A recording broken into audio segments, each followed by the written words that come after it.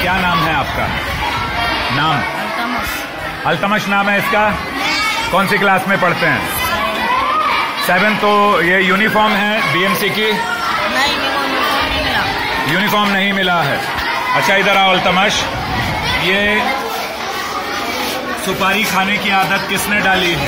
ने बोला था अच्छा चीज़ है मैंने ले लिया। एक लड़के ने बोला अच्छा चीज़ है।